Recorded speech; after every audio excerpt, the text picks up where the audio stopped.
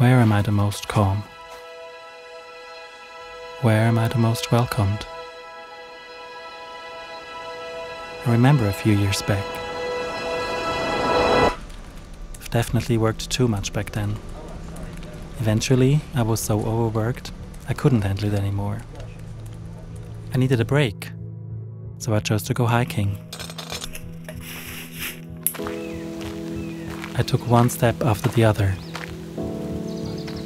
With time, it became quiet in my head.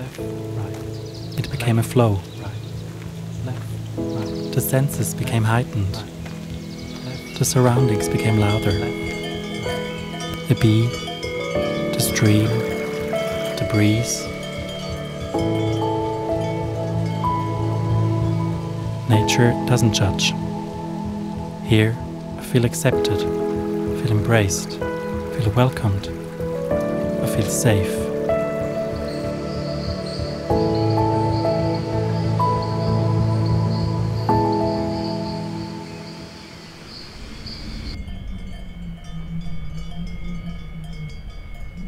If somebody's always there for me, I feel that I have to be there for them. So I realized that I must do what I can to help preserve nature.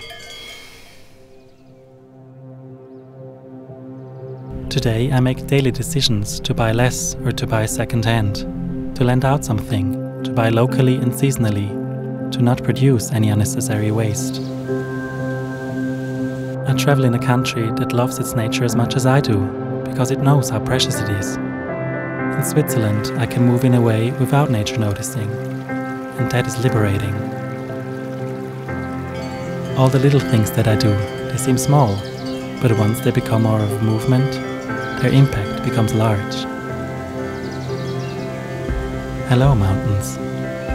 Hello, grass. Hello, sky.